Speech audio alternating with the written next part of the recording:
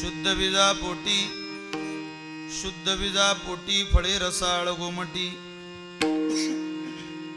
मुखी अमृताची वाणी देह देवाचे कारणी. सर्वांग निर्मळ चित्त जैसे गंगाजळ मुखी अमृताची वाणी देह देवाचे कारणी. तुका म्हणे जाती ताप तुका म्हणे जाती ताप दर्शने विश्रांती मुखी अमृताची वाणी देह देवाचे कारणी प्रारंभी विनंती करू गणपती विद्या दया सागरा अज्ञान त्वहरुणी बुद्धिमती दे आराध्य मोरेश्वरा चिंता क्लेश दारिद्र्य दुःख देशांतरा पाठवी हे रंबा गणनायका गजमुखा भक्ता भूतोषवी आतारदया हृदया फुले चोफाडुनिया भले वरी वैसव पावले श्री गुरूंचे नमोस्तु ते व्यास विशाल बुद्धी फुल्लारविंदा यतपत्र नेत्र येन त्वया भारत तैल पूर्ण प्रज्वालितो ज्ञानमय प्रदीपा शरण शरणजी हनुमंता तुम्हा आलो रामदूता कायभक्तिजा द्यावाटा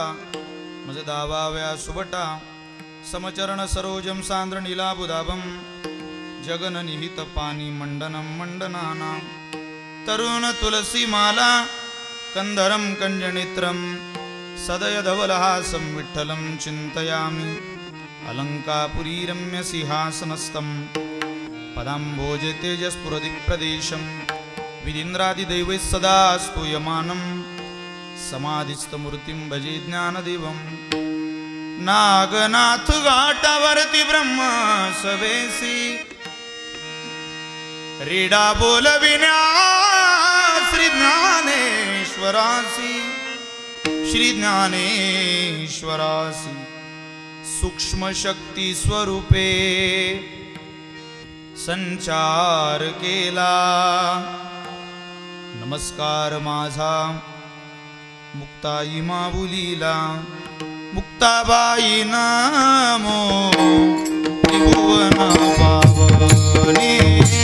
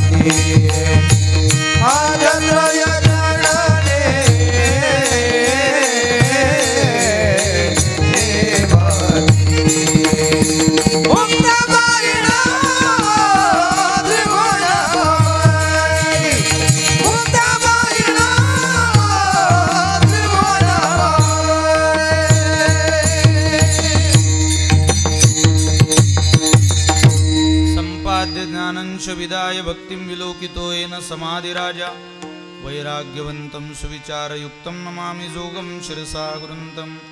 महिम्न पारन्ते परमविदुषो यद्य सदृशी। स्तुतिर्ब्रह्मादीनामपि तदवसन्नास्त्वयि गिरः। अथावाच सर्वस्वमतिपरिणामावधिगृह्णन्। ममापेश स्तोत्रे हरनिरपवादपरिकरः विठ्ठल विठ्ठल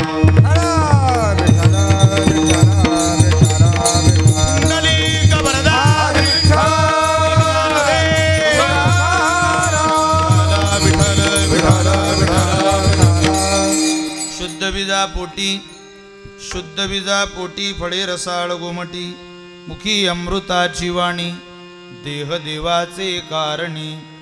कीर्तन रूपी सेवेकरिता निवडलेला अभंग श्रीमंत असे संत श्रेष्ठ ज्ञानाचा सागर भक्तीसागर वैराग्याचे शिखर असणारे श्रीमंत ज्ञानवंत कृपावंत ज्या संतांच्या अभंगवाणीला वारकरी संप्रदायाच्या दृष्टीने किंबहुना वारकरी संप्रदायाच्या विचाराने सूर्याची प्रखरता चंद्राची शीतलता अग्नीची दिव्यता वेदमंत्राची पवित्रता गंगेची सुचिता आईची वात्सल्यता अशी उपमा दिलेली आहे. असे देवमान्य संत संत मान्य संत जगतमान्य संत संत सम्राट विश्वबंध जगद्गुरु श्रीमंत श्री तुकाराम महाराज श्री महाराजांचा चार चरणाचा पारमार्थिक साधनेचं बीज पेरल्यानंतर कुठल्या फळांचा आविष्कार आपल्या जीवनामध्ये होतो याचा विचार करणारा अभंग सेवेकरिता निवडलाय विठ्ठल. विठ्ठल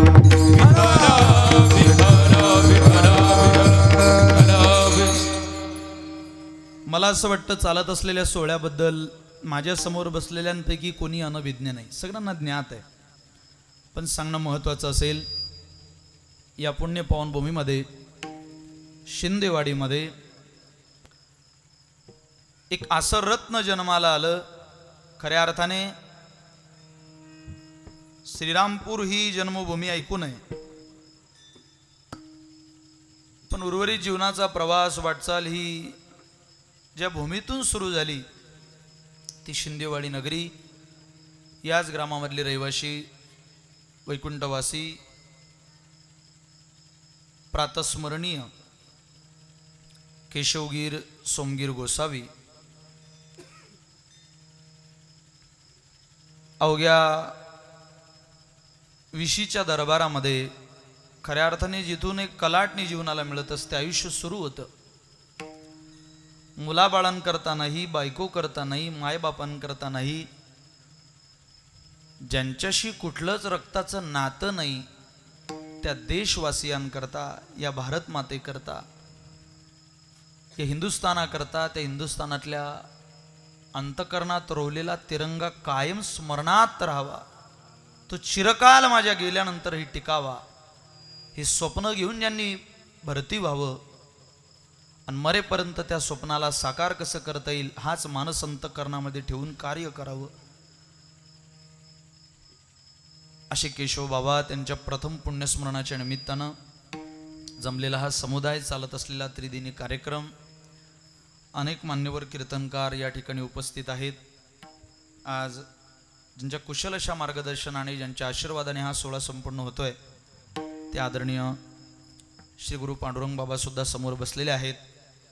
मला साथीला लाभलेले आदरणीय संगीत अलंकार ज्यांच्या गाण्यानं तरुणाईमध्ये पारमार्थिक क्षेत्रात विशेष प्रवाहित व्हावं. आपला मार्ग हा तर नव्हता पण या आवाजाने आम्हाला हा मार्ग दाखवला. असं म्हणायला हरकत नाही.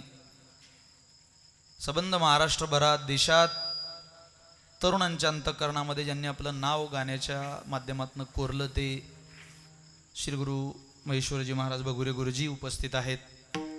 आदरणीय ख्यातनाम गायनाचार्य रविदासजी महाराज जगदाळे आहेत. अनेक मान्यवर कीर्तनकार मंडळी उपस्थित आहेत. माफ करा कॉफी करतो जरा. आदरणीय विश्राम महाराज डमाळे आहेत. आदरणीय उत्तम महाराज गायकवाड आहेत प्रकाश महाराज नाईकवाडे आहेत किशोर महाराज खरात आहेत आदरणीय जलाल महाराज आहेत. मला दोन्ही साथीला लाभलेले उजव्या हाताला नितीन महाराज गोडसे आहेत. डाव्या हाताला आदरणीय आमचे बंधू किरण महाराज गोसावी आहेत. सिव्हिल ड्रेसवर आहे पण उपस्थिती आहे. पखवाजातला राजाच या भागामध्ये आम्ही ज्यांना नेहमीच संबोधतो ते आदरणीय आमचे दिनेशभाऊ मोजळ आहेत. समस्त ग्रामवासी शिंदेवाडी वाल्मिक भाऊ हंडोरे आहेत अरुण भाऊ आहेत ज्ञानेश्वरजी आहेत आणि सगळं हंडोरे परिवार असेल आपलं ग्रामस्थ मंडळ असेल. उपस्थित सगळ्यांच्या चरणावर एकदा साष्टांग दंडवत करतो प्रणिपात करतो आणि माझ्या विषयाकडे येतो. विठ्ठल विठ्ठल.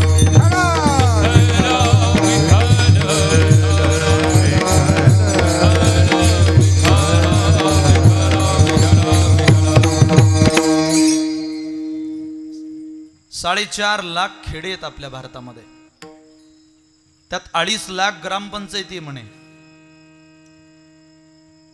कृषी प्रधान म्हणून या देशाला संबोधलं जातं. ग्रामीण भागामध्ये सत्तर टक्के लोक या देशामध्ये शेती करतात. मग व्यापार असेल उद्योग असेल इंडस्ट्रीज असेल कलेचं क्षेत्र असेल तीस टक्के लोक या क्षेत्रामध्ये आपल्या जीवनाचा वावर करतात. पण मला असं वाटतं या तीस टक्क्यांना जर वज के वजा केलं तर उरलेल्या सत्तर टक्क्यांमध्ये अनेक सुपुत्रांचं दर्शन या उभ्या महाराष्ट्राने या देशाने सततच घडून देण्याचा प्रयत्न आपल्या भारतवर्षामध्ये केलेला आहे. आणि मग तो सेवेच्या ठिकाणी असेल न्यायाच्या ठिकाणी असेल प्रेमातून असेल समतेतून असेल बंधुभावातून असेल राजकीय क्षेत्रातून असेल सामाजिक क्षेत्रात असेल कदाचित धार्मिक क्षेत्रात असेल अनेक क्षेत्र आहेत.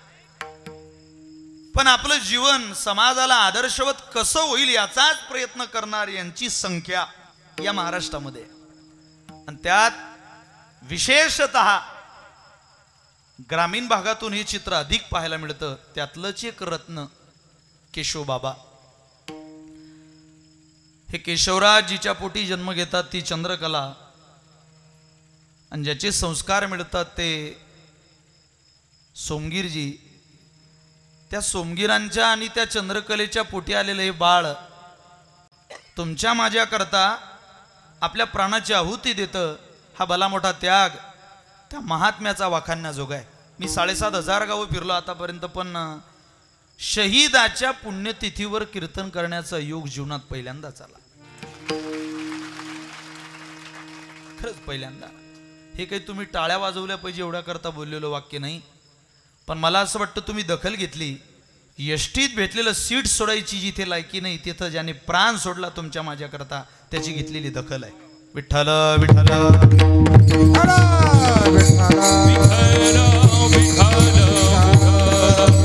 ही आपली परंपराच आहे. अरे लाव छातीला माती. लहर की बरखाय लाव छातीला माती उभा हो सैन्यामध्ये भरती व्हाया. देशासाठी धर्मासाठी अर्पण कर आपली काया.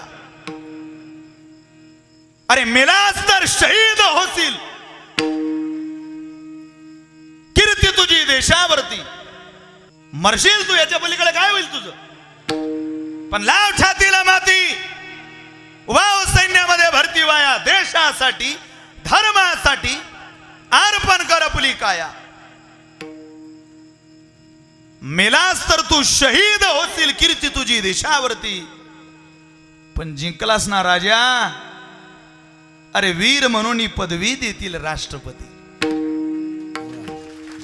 हा तो भारत देश आहे जिथे मेल्यानंतर तू सुद्धा क्षत्रियाला स्वर्ग आहे. गीता मौलित वचन आहे. त्याची अधोगती नाही. पण वाट्याला आलेलं कर्म गीता मौली म्हणते तुम्ही करत राहावं. त्या कर्मामध्ये प्रामाणिकता असावी. ते जर तुम्ही करण्याचा प्रयत्न केला निश्चित यथायोग्य वाटचाल तुम्ही तुमच्या जीवनामध्ये केल्याशिवाय राहणार नाही. तुम्हाला अपेक्षित सगळं काही मिळेल. नवलय महाराज मी ही घटना ज्या वेळेला घडली त्यावेळेला तेलंगणामध्ये होतो. ही बातमी कानावरती आली त्यावेळेला माधव महाराज गोपाळे वगैरे तिथं होते. आणि ती बातमी कानावर आली. मी ज्या गावात कीर्तनाला होतो त्यावेळेला त्या तेलंगणातलं ते गाव तिथले जवळजवळ पन्नास लोक पन्नास घरातले लोक रडत होते. मी म्हटलं हो तो केशवगिरी तर तुमच्या गावचा नाही तुमच्या घरातला नाही. काय संबंध आहे हो? त्या केशवगिराचा आणि तुमचा तुम्ही उगाच रडताय त्याच्याकरता. त्यावेळेस ते म्हटले महाराज नाही येतो आमचा कोणी. अहो आमच्या राज्यातलाही नाही तो. पण आमचं पोरगय आर्मीत आमचं पोरगय मराठी मराठा बटालियनला. आता आज दिवाळी आवरून पोर गेले. कोणी लग्नाला आलं होतं ते गेले. काही गावात सुटीला आलेले ते आहेत. एखादं जरी चित्र कानावरती आलं डोळ्यावरती आलं टीव्हीत पाहिलं तरी अश्रू नाही व थांबवतायत महाराज. अरे दारू पिणारं पोरग बिअरबार मधून दहा वाजेला घरी यावं असं जर मायबापाला वाटत असेल तर ज्याला सुपारीचं व्यसन नाही ते पोरं ज्यांनी सीमेवरती पाठवले हा किती मोठा त्याग आहे त्यांच्या आईवडिलांचा. कोणी करत नाही महाराज? कोणी करत नाही. खरंच ही संकल्पना तुम्ही राबवली मला मनापासून आनंद वाटला खूप आनंद. असं म्हणे यशोदेला कृष्णाचा विरह सहन करावा लागला होता गोकुळ सोडताना. पतीचा विरह सहन करणारी यशोदा नव्हती. पतीचा विरह सहन करणारी आम्ही सीता वाचली उर्मिला वाचली. पण मला असं वाटतं मुलाचा विरह यशोदेने सहन केला आणि आज त्या यशोदेला आपल्या मालकाचा सुद्धा विरह सहन करावा लागतोय अशी सुद्धा यशोदा इथे पाहायला मिळते निश्चित मिळते दोन जिजाऊ या महाराष्ट्रामध्ये झाल्या दोघींचंही कार्य अलौकिक आहे. एक जिजाऊजीनं धर्माच्या रक्षणाकरता छत्रपती शिवराय दिले आणि दुसरा जिजाऊजीनं वारकरी संप्रदायाचा कळस उभारण्याकरता तुकारामासारखा मालक दिला. मला असं वाटतं त्यात तिसरी जिजाऊ तर नाही पण तिसरी यशोदा आईजीनं वीस वर्षाचं तरण बांड पोरग तुमच्या माझ्या लढ्याकरता स्वाभिमानाकरता देशासाठी शहीद व्हायला पाठवून दिलं. ती ही यशोदा धन्य आहे तिची. ऐन तारुण वयात बाईच्या कपाळावरचं कुंकू पुसलं जाताना महाराज त्यावेळेला बाईचं दुःख काय असतं आणि पुढचं आयुष्य काय असतं? एखादा कीर्तनकार कीर्तनात भावनिक शब्दामध्ये तो विषय रंगून सांगू शकत नाही. इतकं सोपं नाही माफी मागून बोलतो छत्रपती शिवाजी महाराजांचं नाव घेऊन सुद्धा विधवाबाईकडे पाहण्याची नजर जिथे अनेक नालायकांना देवाने दिली नाही. त्या समाजामध्ये त्या बैला वाटचाल करायची असते. नाही पाहतायत तिच्याकडे. तिच्याकडे पाहिलं तरी समाजाच्या नजरा बदलतील. इतके पापी लोक इथे वाटचाल करताय जगताय. नाही म्हणून कसं चालेल? पण तिचं सुद्धा स्वाभिमानानं ताट मानेनं जगते. अशा अनेक यशोदा या महाराष्ट्रामध्ये हो. अनेक आहे खरं तर दिवाळीसारखा सण आहे. पण अजूनही पुलवाम्याची ज्यांच्या ज्यांच्या घरात पुलवाम्याच्या घटनेने ज्यांच्या घरात दिवा विजवलाय ना त्यांच्या घरात अजूनही दिवाळीला दिवा नाही जळत. नाही साजरी होत दिवाळी. नाही. मग तो संतोष महाडी कसं येईल? त्याच्या आधी शहीद झालेले. आमच्या मलकापूरचं वीस किलोमीटर अंतरावरचं राजपूत घराण्यातलं पोरगं असेल. केशवबाबा आहे. नाही होत.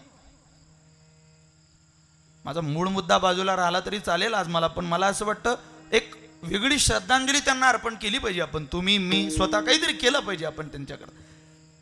हे नाव घेण्यापुरतं मर्यादित नाहीये.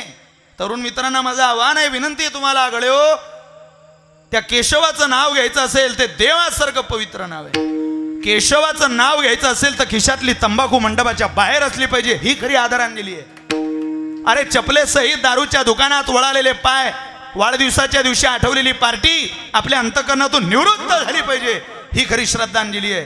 परक्याच्या बाईकडे दुसऱ्याच्या धनाकडे पाहण्याची नजर केशवाचं नाव घ्यायच्या अगोदर आपल्याला मिळालीच पाहिजे. ही खरी श्रद्धांजली आहे. ही खरी आदरांजली आहे. साठ हजार रुपयाचा डीजे माझ्या घरी बोलून माझ्या सगळ्या मित्रांना दारू पाजून पाच तास गावात धिंगाणा घालायची वृत्तीच माझी नाही. मी जर केशवाचा पाईक असेल त्या घराण्याबद्दल मला तळमळ असेल आणि यशोदेच्या त्यागाची प्रतिमा धगधगती माझ्या अंतःकरणामध्ये असेल तुबा आयुष्य मी सुद्धा माझ्या घरी कोण्या लग्नात हा आनंद साजरा करणार नाही. ते जे बनवून माझ्या मित्राला सुद्धा वायफळ खर्च करायला लावणार नाही. तेच पैसे माझ्या उजाळलेल्या घराकरता अरे बिघडलेल्या चुली करता रस्त्यावर आलेल्या चुली करता चार भिंतीत चूल बांधण्याचं काम आणि स्वयंपाक बनवण्याचं काम जोपर्यंत होत नाही तोपर्यंत हा तरुण लढतलंय. ही खरी श्रद्धांजली ही खरी आदरांजली. मला असं वाटतं गरज आहे त्याची. आणि ते आपण करू शकतो. नाही असं नाही. निश्चित करण्याचा प्रयत्न आपण सगळ्यांनी केलाच पाहिजे केलाच पाहिजे. विठ्ठल विठ्ठल.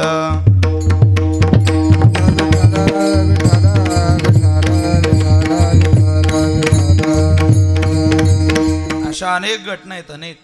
त्या राजपूतांचं त्यावेळेला गुरुजी सप्ताह चालू होता मुक्ताबाईचा.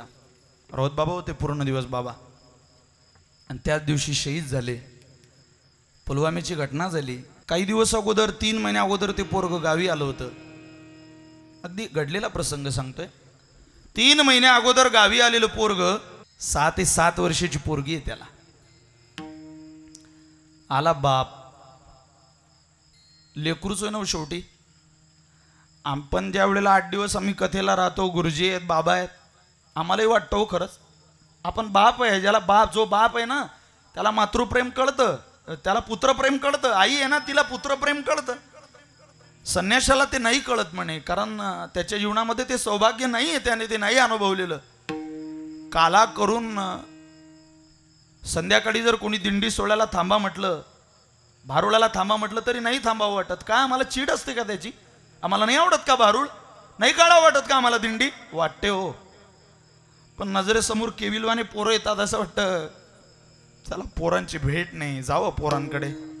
आठवडाभराकरता टाळ वाजवायला गेलेला वारकरी सुद्धा पोरांना पाहायला आतुरतो महाराज. चार महिने ज्यानं काश्मीर सारख्या बॉर्डरवर ड्युटी केली आणि आत्ता कुठं सोळा दिवसाची सुट्टी मिळाली. काय चाहूल असेल काय आतुरता असेल हो त्याला पोरांच्या भेटीची? ते मागच्या भेटीला आलो होतो. फार दिवस सुट्टी नव्हती दळपोरगी आपल्याशी बोलली नाही. पाच सहा दिवस तो पोरीला मला ओळखण्या ओळखण्यात गेले. आता ती चांगली बोलते बायकोच्या व्हिडिओ कॉलवर पाहिलंय तिला. घरात आलेलं पोरग ज्या वेळेला ती सात वर्षाची चिमुरडी लेख आपल्या बापाला चिकटते ना महाराज त्यावेळेला त्या माणसाच्या जीवनातला तो सगळ्यात आनंदाचा क्षण असतो. सगळ्यात त्याच्या पलीकडे त्याला आनंद नाही. आपलं लेकरू आपल्या पोटाला चिकटलं याच्यापेक्षा आनंदच नाही. नाहीच. विद्यार्थी दशेमध्ये गुरुनं कधीतरी पाठीवरून हात फिरवावं. याच्या पलीकडे आनंद नाही बोधेबाबांनी कधीतरी पाठवून हात फिरावा. आनंद नाही त्याच्या पलीकडे. अरे अनेक कोट्यावधी माणसं बोधेबाबांच्या आशीर्वादाच्या बलावर आमचं कौतुक करतील आमच्या पाठीवर थाप घालतील. पण चातुर्मासामध्ये बाबाकडून उठल्या जात नाही तरी असा हाताला हात धरून बाबांनी उभं राहावं तरी अख्खा चातुर्मास आठवून राहतं. एकदा बाबांनी माझा हात धरला आणि ते उठून उभे राहिले होते. तसा आनंद नाही. पहिला नंबर मिळून आणल्यानंतर शंभर रुपयाची मजुरी करून मायनं कमवलेल्या पैशाच्या आधारावर पोराला मिळालेलं सर्टिफिकेट मायनं दाखवलं आणि ती एकदा रडली तसा आनंद नाही उभ्या आयुष्यात कधी. बायकोच्या हातात पगार दिल्यानंतर सुद्धा तो आनंद नाही मिळत. जो आनंद आईच्या हातात सर्टिफिकेट दिल्यानंतर मिळेल. तसा हा एक आनंद आहे. माझं कोण कौतुक करतंय? किती लेबल मला लागलेत किती मेडल मिळाले? कोण्या राष्ट्रपतीकडून मला पुरस्कार मिळाला? याच्या पलीकडे सगळं वजा होतं. फक्त सात वर्षाची चिमुरडी. त्या निदळ्या छातीच्या माणसाला कडकडून मिठी मारते पोटाला चिकटते. का? माझा बाप आज घरी आलाय. माझा बाप आलाय. पंधरा दिवसाकरता आलेला बाप मी नातेवाईकांच्या घरी जाणार नाही सांगत होता तो. मी नाही जाणार कोणाकडे. मग मी घरीच राहील माझ्या पोरीत. माझ्या पोरीसोबत हे दिवस काढेल. तो घरी राहिला अनेक फोटोज व्हिडिओज त्यानं आपल्या मोबाईलमध्ये काढले. हे चरित्र तुम्ही अनेक ठिकाणी वाचलं सुद्धा असेल पण अगदी माझ्याजवळच आहे. एका शहीदाच्या घरातले म्हणून आपल्याला सांगण्याचा प्रयत्न करतोय. निदान ती त्यागाची प्रतिमा आपल्या अंतकरणात उतरेल. हे कीर्तन त्यांच्याकरता नाहीच आहे. मुळात त्यांच्या त्यागातून आपलं जीवन समर्पणाकडे नेणं एवढ्याकरताच आहे. विठ्ठल विठ्ठल.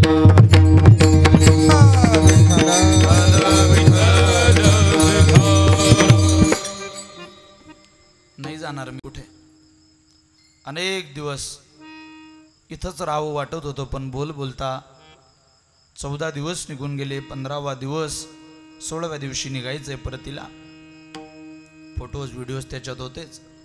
पंधराव्या दिवशी त्याच चिमुरड्या लेकीसोबत आप्पा अख्खा अख्खा दिवस घालावा कारण आता चार महिन्याने यायला मिळेल. सुटी किती दिवसाची मिळते नाही माहिती. बायको बिचारी ती बॅग भरायला लागली.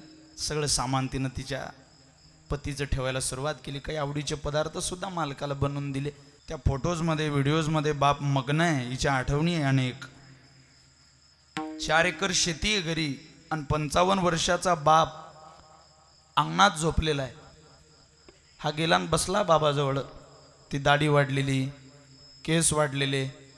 बाबा येतो मी उद्या मग आता ती विदर्भातली भाषा कोळ बोलणं बापाचं. जागळ्या. इकडची नको काळजी करू. मी करून घेईल. पंचावन्न वर्षाचा बाप सुद्धा चार एकर शेती करून घेईल म्हणतो त्यावेळेला सीमेवर लढणाऱ्या जवानाला असं वाटतं मी तिकडे लढतोय पण माझा बाप सुद्धा लढतोय हो पंचावन्न वर्षाच्या वयात कोणाला लढताय तर माझा बापही लढतोय. तेही भर दिवाळीत आलेल्या पावसात लढतोय हे? मक्याला निघालेल्या कोमांमध्ये रडतोय. रडाईच्या वेळेला सुद्धा लढतोय तो. जा जडंत कर्णाने बापाचा आशीर्वाद घेऊन जायची तयारी केली. पण दुसऱ्या दिवशी हातात बॅग घेतली आईचं दर्शन घेतलं. पोरासमोर रडू नये म्हणून मायेनं आणि बापाने पोराला बिदा केलं. त्यावेळेला तरुण स्त्री फक्त आणि फक्त मालकाचा चेहरा पाहते. गळ्यातल्या मंगळसूत्रावरती हात ठेवते. आणि जगन्नायक आला त्या पंढरीनाथाला म्हणते देवा जसा पाठवते तसाच परत दे रे. दुसरं काही नको तुला. मोठ्या मोठ्या घरची सोयरी काली पण माझ्या बापाने देशाची सेवा करणाऱ्या बरोबर माझी नाळ जोडून दिली. असाच पाठव रे देवा. ती प्रार्थना करणारी बायको तो सुद्धा पाहतो. कुठं चालले गाई बाबा? येतील ते जाऊन. कुठं ऐकणार पोरगी? चिकटली बापाला. जणू तिला कळतच होता आता पुलवाम्याची घटना होणार आहे आणि आपलं बाप आपल्याला नाही भेटणार आता परत. बाबा कुठं चालले हो तुम्ही? ड्युटीज ब्युटी मी आर्मीमध्ये मी मिलिटरीमध्ये बेटा जावं लागेल तिकडे. काय करतो हो पप्पा तुम्ही तिकडे? मी काही नाही बेटा. मी हेलिकॉप्टर चालवतो. हेलिकॉप्टर चालवता? कुठल्या रंगाचं आहे हो पप्पा तुमचं हेलिकॉप्टर? जायला वेळ झाला तरी चालेल पण परत खिशातला मोबाईल काढला. हे मी तुम्हाला अगदी रचून सांगत नाही. हे त्यांच्या जीवनातलं घडलेलं त्यांच्या घरातलं चित्र त्यांच्या घरातल्यांनी सांगितलेलं मोबाईल काढला आणि आर्मी रंगाचं हेलिकॉप्टर पोरीला दाखवलं. हे ते हेलिकॉप्टर. बाबा मला पण आणा नवा हो असं हेलिकॉप्टर. आणणार का मला? आणेला बेटा. पुढच्या सुटीमध्ये आलो का तुला हेलिकॉप्टर घेऊन येईन? पुरीचा निरोप घेऊन बाप निघाला. अख्खा रेल्वेचा प्रवास त्या तरुणाला रडत रडत करावा लागला. ड्युटी जॉईन झाली. घरून गेल्यानंतर वीस दिवसाच्या कालावधीत सेक्टर बदललं ठिकाण बदललं. ठिकाण बदलता बदलता प्रवासामध्ये एक मोठं शहर लागलं. आणि पोरीनं सांगितलेलं हेलिकॉप्टर बापाला आठवलं. सोबतचे मित्र गाडी थांबवतायत आणि बापानं पुढच्या सुट्टीला जाईल तेव्हा आठवण राहील का नाही म्हणून हेलिकॉप्टर घेऊन बॅगमध्ये ठेवलं. आता जाऊया तीन महिन्यानंतर पण हेलिकॉप्टर तर आजच घेतलं पाहिजे ना? तीन महिन्याच्या सुट्टीनंतर घरी जाणारा बाप आज हेलिकॉप्टर पोरीकरता बॅगमध्ये ठेवतोय. तीच गाडी पुढे गेली. सेक्टरवर थांबली ड्युटी जॉईन झाली. चार दिवसानंतर पुलवाम्याचा हल्ला झाला. शरीर दिसेन असं झालं. कोणाचा देह कोणता आहे? कोणाचे अवयव कोणते हे कळेना. पण बिल्ला लटकलेला होता आणि त्या बिल्ल्याला चिकटलेला थोडासा मासाचा तुकडा होता. बिल्ले गोळा करून नावं समोर यायला लागले पुलवाम्याचं हेडिंग यायला लागलं. त्यावेळेला घरातली स्त्री तरुण मायबाप म्हातारे आहेत म्हणून दुसऱ्याच्या घरात दिवा लावते आणि म्हणते देवा माझ्या मालकाचं नाव नको येऊ देऊ रे या यादीत नको येऊ देऊ. पण दुर्दैवानं पंधराव्या क्रमांकाचं नाव त्या पोराचं आलं. आणि पंधराव्या क्रमांकाचं नाव येऊन घरातला दिवा विजला कपाळावरचं कुंकू पुसल्या गेलं. थैमान झालं बुलढाणा जिल्ह्यात. थैमान झालं महाराष्ट्रात. किती थैमान किती वाईट परिस्थिती. का तिथं आलेले सगळे लोक मग ते विविध क्षेत्रातले राजकीय असतील सामाजिक असतील सगळे लोक गोळा व्हायला लागले. पोलीस प्रशासन एकत्रित झालं कुठं हेलिकॉप्टर उतरणार काय सगळं ठरलं. हेलिकॉप्टर जिथं उतरणार तिथं तीस तरुण स्त्री पत्नी त्याची आई वडील पोराच्या स्वागताकरता तयार झाले. हेलिकॉप्टर जमिनीवर तर उतरत आहे महाराज ते आर्मीतले जवान होते तिथं. ते हेलिकॉप्टर उतरत आहे ना त्यावेळेला सगळे पाहत होते पण चिमुरडी लेक त्या हेलिकॉप्टरकडे पाहत होती. हे तर माझ्या बापाचं हेलिकॉप्टर आहे. माझा बापच चालवतो हे हेलिकॉप्टर. ज्यावेळेला ती बापाचं हेलिकॉप्टर आलं या भावनेने पाहते त्यावेळेला रडायच्या वेळी ती पोरगी हसते. आणि यात माझा बाप असेल चालवत माझा बाप असेल. पण चालवणारा तो कोणी वेगळाच काका दिसतो मग माझा बाप कुठे? आहे माझा बाप कुठे? आहे काही लोकांनी ती पेटी बाहेर काढली. सगळेच लोक पेटीकडे पाहता पण मीच एकटी या हेलिकॉप्टरकडे पाहते माझ्या बापाकडे पाहते. या पेटीत तरी काय असावं? त्या पेटीकडे पाहिलं. आई काय घ्यायच्यात आणलं का माझ्या बाबाने खेळणं मला? खेळणं नाही बेटा हा तुझ्या बापाच्या जीवनाचा झालेला खेळ आहे. तुझा बाप आहे ग पोरी त्यात. हेलिकॉप्टरच्या आशेनं उभी असलेली पोरगी त्या काचेच्या पेटीत आलेल्या मासाच्या तुकड्याला सुद्धा मिठी मारते आणि म्हणते बाबा बाबा या ना हो बाबा या ना बाबा. हे कुटुंबा करता नाही हे बायको करता नाही हे माय बापा करता नाही. हे फक्त आणि फक्त तुमच्या माझ्या करताय. असं म्हणतात. वीरो शहीदोने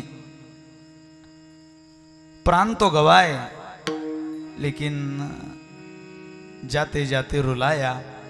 हर किसी की निर्दयी के मुख कमल पे पहा तो दुखी दुखी था। इतना दुख! न जाने मौत किसी और के घर में हुई कि हमारे घर में हुई। उसके बाद भी कई साल चले गए, लेकिन आज तक भी किसके घर की मौत थी, किसके घर का दुख था, पता नहीं चला। विठ्ठल विठ्ठल।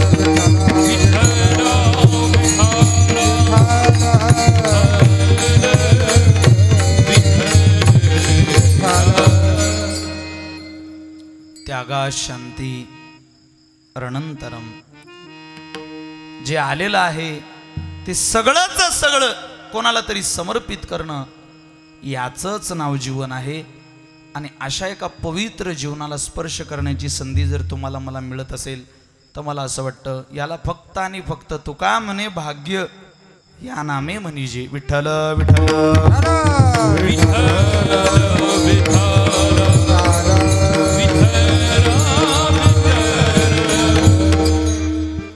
गोष्टी आहेत अनेक देशभक्तीपर गीता आहेत. कादरजी आपण मला ही चिठ्ठी दिली. पण मला असं वाटतं त्याच्याही पलीकडे आपल्या संतांचे शब्द आहेत. संतांनी एखादं गीत म्हणून हे वातावरण थोडंसं भावनिक केल्यापेक्षा मी त्या मताचा मुळीच माणूस नाही. एखादं गीत म्हणून हा विषय रंगवण्याचा प्रयत्न माझ्यासारख्याने कीर्तनकाराने केल्यापेक्षा मला असं वाटतं त्यांच्याबद्दल अधिक काही बोलल्यापेक्षा त्यांच्याबद्दल अधिक काय घेता येईल याचा विचार तुम्ही आपण करण्याची गरज आहे. खरंच करा. खरंच तुम्हाला कोटी कोटी धन्यवाद आहे. तुमचा भाऊ समजून तुमचा मुलगा समजून तुमची सून समजून आपली बहीण समजून योग्य त्या कुटुंबाचं व्यवस्थापन आणि त्या कुटुंबाकडून आदर्श घेऊन आपल्याला पुढची वाटचाल करायची आहे. हितच केशवाची जबाबदारी झाली. अजून काव्याची जबाबदारी घ्यायची आहे. काव्याचा सुद्धा सांभाळ करायचा आहे केशवाला बरं वाटेल असं करा. खरंच त्या केशवाला बरं वाटेल. विठ्ठल विठ्ठल.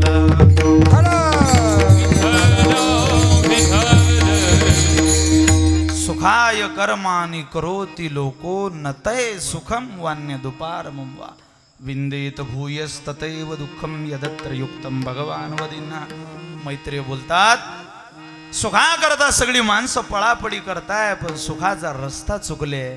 दुसऱ्याच्या दुःखात सुद्धा लोक स्वतःचं सुख शोधतात. एखादा मोठा माणूस मेला तर त्याच्या अंतविधीला मी होतो याची सेल्फी काढायला सुद्धा समाजाला स्वतःच्या सुखाकरता लाज वाटत नाही. इतका खालावलेला आहे समाज. मड्याबरोबर सुद्धा फोटो काढून तो प्रसिद्धी करण्याची समाजामध्ये रीत सुरू झाली. नतय सुखम वान्य दुपार ममवा नाही मिळणार गळे होते ते सुख. पण खरंच सुख पाहिजे ना?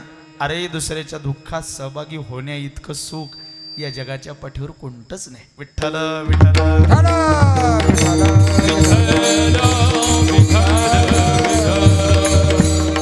काय निर्दयी असेल हो खरंच माणूस. इतका सुंदर देह दिला देवानं. तरी किती निर्दयी या माणसाने त्या विकारांना सोडलं जवळ जवळ केलं. का विश्वासाला तुडविजे चोरा? शिनला सुईजे महापुरा तैसे दोषी इही नरा अनिष्ट कीजे दैवी संपत्तीचे गुण सांगितले तसे आसुरी संपत्तीचे दोष सांगितले त्याच्यावर ज्ञानोबाराय बोलतात दंभो दर्पो अभिमानश्च क्रोध पारुष्यमेवच अज्ञानम चा विजातस्य पार्थ संपदमासुरीम ज्ञानोबाराय बोलले का विश्वासाला तुडविजे चोरा लेका चांगल्याचा भरोसा सोडला आणि चोरावर विश्वास ठेवायला लागला कसं हित होईल रे? कसं सुख मिळेल तुला? नाही मिळणार नाही मिळणार. सुख पाहिजे ना? दुसऱ्याच्या दुःखात सहभागी हो. अरे जनावर सुद्धा दुसऱ्याच्या दुःखात सहभागी होतात. अनंत उदाहरण आहे. कोल्हापूर साताला सांगली तीन जिल्ह्याला पुराणे थैमान घातलं. किती थैमान? की घरातल्या चुली घरासहित पडल्या आणि चुली रस्त्यावर मांडाव्या लागल्या. इतकी वाईट परिस्थिती झाली. एका कालावधीमध्ये तीन जिल्ह्यात लोक रडत होते. त्याच कालावधीत इतर जिल्ह्यामध्ये लोक गणपती बाप्पा डीजेवर नाचत होते. हा काल कोणी विसरू शकत नाही. पण माणूस विसरला माणसाचं दुःख. पण माझ्या तुकोबरेंचं वचन कोण्याही जीवाचा न घडो मत्सर? तिकडे जा सांगली भागात. बैलांना कळलो शेतकऱ्याचं दुःख बैलाला राबणाऱ्या बैलाला. मालक जातोय तलाठी सांगतोय गाव खाली करा. सहा फूट पाणी झालं बैल मोकळे करा दावे तोडून द्या. मी बोटेत बसायच्या अगोदर गोठ्यातलं दावं तोडलं पाहिजे. म्हणून हातात विळा घेऊन मालक गोठ्यात जातोय आणि तीन वर्ष झाले माझ्या घरी राबतोय त्या खिल्लार जोडीचं दावं तोडतोय. आणि हात जोडून म्हणतोय जा रे सरजा जा राजा जा गड्यो. माझ्याच घरी जगले पाहिजे एवढा काही मी स्वार्थी नाही रे. जा. कुठेही जगा. झाली आपली भेट आणेल तुम्हाला खोट्यावर परत. जा. कुठंतरी जगले पाहिजे तुम्ही. पण माझ्या घरी आता थांबू नका. इथं पाणी वाढतंय. मी बोटेत जाईल गड्यो. शक्ती येतोपर्यंत पोहत पोहत जा. चार दिवस झाले तुमच्या पोटात चारा नाही रे. पाण्यात उभे तुम्ही. अन्नाच्या जागेवर सुद्धा गोडभर पाणी पिता. अनेक किडे अनेक सर्प घाण दूषित पाणी पिऊन सुद्धा तुम्ही आमच्याच खोट्यावर उभे आहात. जा गडेव जा. खरं सांगतो तुम्हाला माझा पोरगा सुद्धा त्याचं भांडवल घेऊन त्याचं कुटुंब घेऊन पुढच्या बोटीत गेला हो. माझा पोरगा सुद्धा बाप येईल का याची वाट न पाहता घर सोडून गेला? पण तुम्ही दोन आहात मला सोबतीला थांबलेले पण आता तुम्ही जा गड्यो हो. मी सुद्धा बसतोय आता नावेत जा. तुम्ही गेलं पाहिजे. दावं तोडलं मालकानं बैल पाण्यात पोहायला लागले. मालक सुद्धा बोटीत बसून गेला. पण सात दिवसानंतर ज्या वेळेला मालकाला गावात सोडलं त्यावेळेला घराच्या बाहेर दोन्ही बैल तरंगून मेलेले होते आणि ते बैल सांगत होते मालक ज्याचं तीन वर्ष खाल्लं त्याला सोडून जायचं कुठं? जगलो तुमच्या खोट्यावर मरू सुद्धा तुमच्याच खोट्यावर. ही प्रामाणिकता दुसऱ्याच्या दुःखात सहभागी होण्याची महाराष्ट्रामध्ये जनावरांना मिळाली ती माणसांना मिळू नये याच्यापेक्षा शोकांतिका काय असावी आता? विठ्ठल विठ्ठल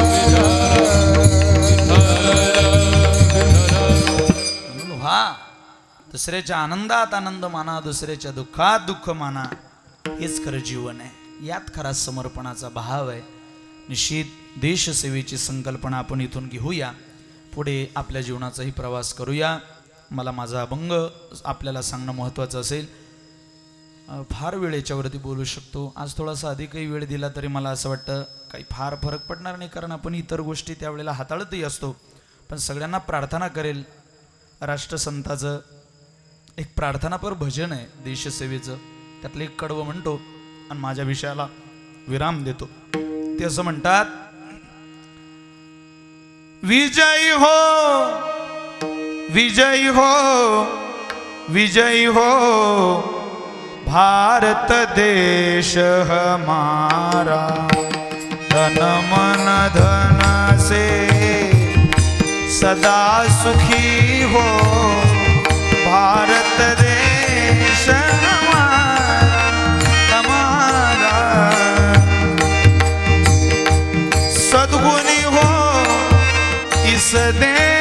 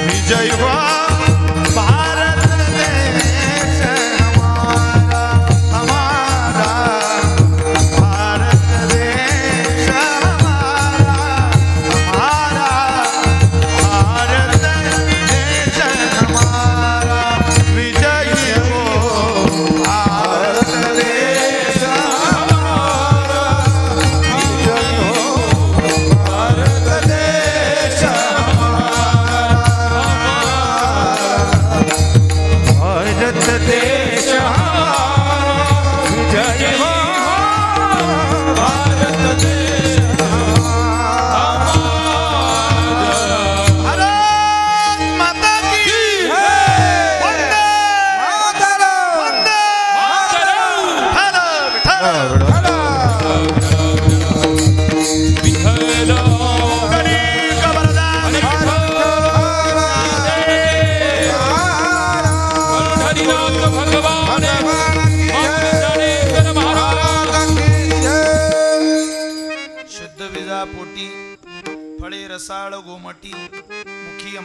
देवाची वाणी देह देवाचे कारणी. जगद्गुरु तुकाराम महाराजांचा चारचरणाचा अभंग आहे. मला असं वाटतं आजचा अभंग पाठ नाही असा मानुष्य मंडपात नसेल.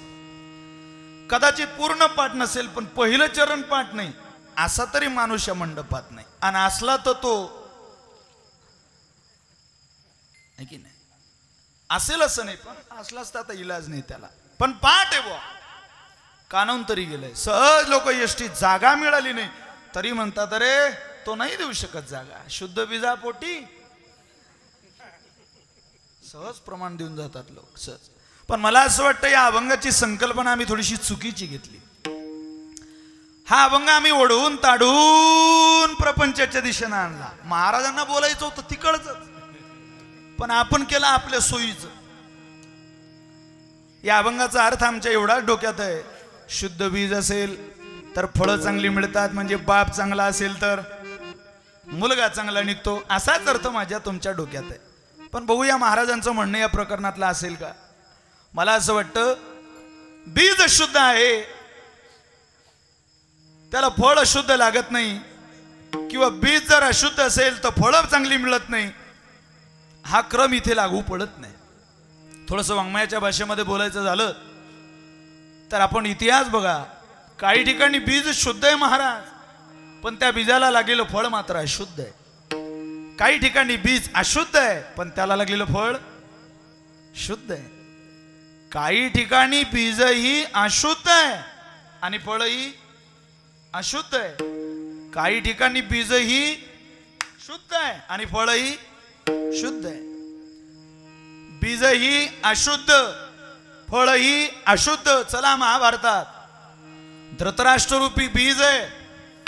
आणि धृतराष्ट्ररूपी बीजाला लागलेलं बोर झालात का हो? मी घरी जाऊ का? बोला ना मग. धृतराष्ट्ररूपी बीजाला लागलेलं दुर्योधन रूपी फळ आहे. बीजही अशुद्ध आहे आणि फळही अशुद्ध आहे. काही ठिकाणी बीज शुद्ध आहे महाराज. पण त्याला लागलेलं फळ मात्र अशुद्ध आहे. बीज आहे श्रीकृष्ण यादव. आणि फळ आहे लालू प्रसाद यादव. कृपया माझ्याकडे दुसरं नाव नाही. ज्यांना कळलं त्यांना मी धन्यवाद देतो. तुमचे आमचे मुलं देवाची साधूची थट्टा करतील यात नवल नाही. जांबवतीचा मुलगा आहे सांब. पोटाला कपडे गुंडाळले पिंडार क्षेत्रामध्ये साधू पुढे जाऊन म्हणताय सांगा हिला पोरग होईल की पोरगी? बहीण आहे आमची.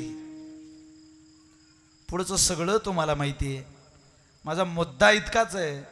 बीज शुद्ध आहे महाराज. पण स्वतःच्या कुटुंबाला आग लावणारं पोरग घरात जन्माला आलं फळ शुद्ध आहे. काही ठिकाणी बीज अशुद्ध आहे. नाम घेऊ नदी देवाचे. हे ब्रीद घेत नाही याला नवल नाही हो पण घेणाऱ्याला घेऊ देत नाही हे विशेष आहे. इतकं वाईट असणार बीज पण त्या वाईट बीजाला सुद्धा अत्यंत पवित्र फारच गोड फळ लागलं. त्या फळाचं नाव आहे आ? नुसतं प्रल्हाद नाही भक्त प्रल्हाद. विठ्ठल विठ्ठल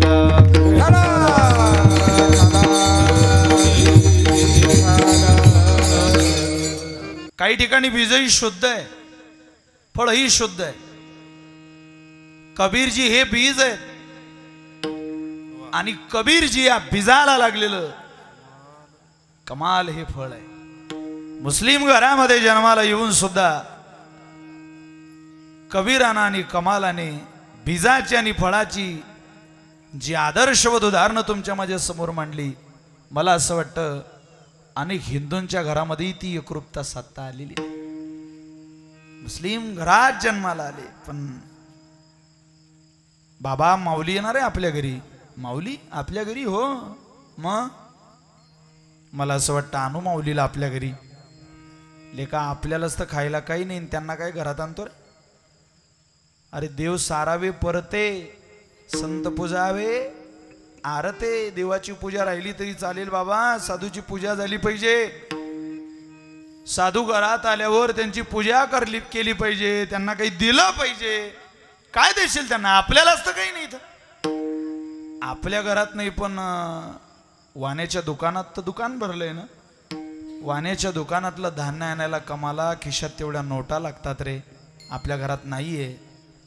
छोट्याशा कमालाने कबीराला दिलेलं उत्तर आहे बाबा खिशातले पैसे दुकानाचा दरवाजा समोर आहे असं दाखवतात. पण खिशातले पैसे संपतात त्यावेळेला दुकानात कोणी समोरच्या दरवाजाने जात नाही. बाबा त्यावेळेला दुकानाच्या दरवाज्याची व्यवस्था जाणाऱ्याला स्वतंत्र करावी लागते. मग ती कुठल्या दिशेनं करायची तो तुमचा प्रश्न आहे. म्हणजे चोरी करू? चोरी? हा? जाताय कमालजी. फोडली कमालाने ती भिंत. माणूस जाईल एवढी भिंत फोडली कमालजी मध्ये गेले. धान्य टाकलं त्यात. किती टाकलं? पोटापुरते. फार नाही. पुरेल पिढ्यांना एवढं नाही. बस येऊच द्या. त्या कुत्र्यासारखं नाही येऊच द्या येऊच द्या येऊच द्या. आतलं बाहेर टाकावं लागलं तरी चालेल पण ती क्रिया थांबवायची नाही. नाही घेतलं जरूर. पण साधूचं पोट भरेल एवढं. काही डाळ घेतली तेल घेतलं मसाल्याचे पदार्थ घेतले. ती धान्याची पोतळ भरून कमालजी बाहेर निघताय. पण चोरीचं पातक लागेल चोरीचं अन्न कसं खाऊ घालतात ज्ञानोबारायांना माऊलींना? संत येणार आहेत. कसं द्यायचं त्यांना? परत गेला सांगायला वाणीबुवा चोरी झाली तुमच्या दुकानात. चोरी झाली? झोपलेला सुद्धा ताडकन जागा झाला. चोर म्हटल्यावर कोणी पूजा थोडीच करणार आहे. हातात काठी घेतली आणि भिंतीजवळच कमाल पकडला. बदा बदा बदा बदा बदा मारायला सुरुवात केली. अंगरक्त बंबाळ झालं दाह व्हायला लागला. मुडक बाहेर आहे हात बाहेर आहे. आणि शरीर मात्र वाण्याच्या ताब्यात आहे. कमालानं हात बाहेर काढलेत. पुतळी कशी बशी भिंतीत अडकली आहे आणि मुंडक बाहेर आहे. तो अर्धा आत आणि अर्धा बाहेर असलेला कमाल बापाला सांगतो बाबा घेऊन जाई धान्याची धान्याची पोतडी पिशवी आणि घाला ज्ञानोबाऱ्यांना जीव. बाबा जाताना या पोतडी बरोबर या धान्याबरोबर तुमच्या मुलाची मान सुद्धा घेऊन जा. कापून टाका माझं मुडक. आणि सांगा त्यांना सेवे करता माझं पोरग गेलं. विठ्ठल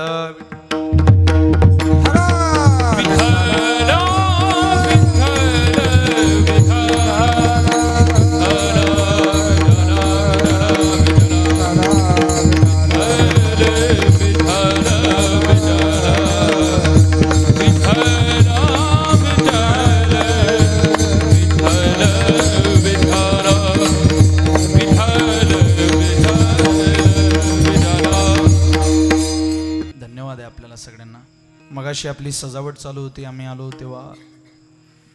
आपण जिथे दिसाल तिथं तुम्हाला वंदन करावं हीच आपली भूमिका आहे. आपण आमच्यासारख्याच्या पाया पडावं. आम्ही वाऱ्या करत असू मोठ्याने टाळ वाजवत असू भजन करत असू कीर्तनामध्ये समाजाचे टाळेही घेत असू कदाचित त्यांच्या आधारावर नावलौकिक करत असू खिशे भरत असू. पण मला असं वाटतं आमची सगळी मजा तुमच्या भरोशावर आहे हो. सगळीच मजा तुमच्या आधारावर. आम्ही आत्तापर्यंतच आमचं सगळ्या वारकऱ्यांच्या जीवनातलं पुण्य तुम्हाला जरी दान केलं तरी तुमचे उपकार आमच्यावरची फिटणार नाही. एवढे तुम्ही महान आहात. प्रार्थना करूया देवा. या आमच्या बंधूंना या सुरक्षा कवचाला अधिक बळकट कर अधिक शक्ती दे. आम्हाला काही देऊ नको रे बाबा आता खूप दिलं तू आम्हाला. आम्हाला तुला काही द्यावं वाटत असेल तरी ते यांनाच दे सगळ्यांच्या सेवेचं फळ यांना मिळावं ही सदिच्छा आहे शुभ कामना आहे बाकी काही नको विठ्ठल विठ्ठल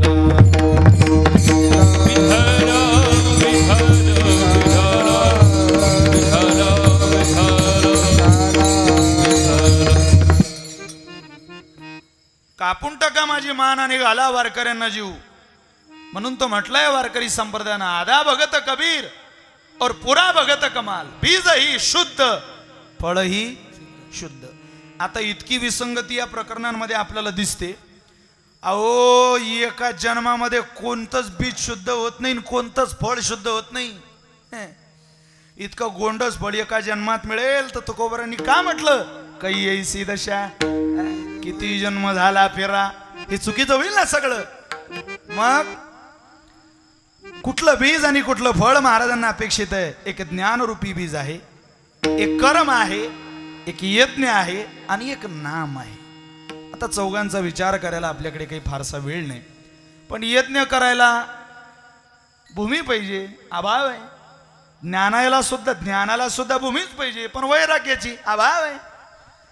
कर्माला अंतकरण शुद्ध पाहिजे अभाव आहे. तिन्ही जरी वजा केल्या तरी जप तप अनुष्ठान व्यर्थ. कासया करणे तीर्थ व्रत यम नेम.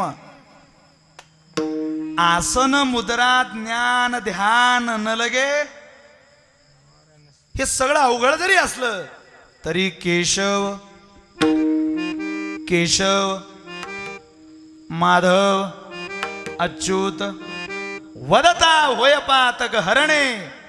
केशवाचं नाव जरी मुखात आलं तरी अनंत पाप जोडून भस्म होत असतील.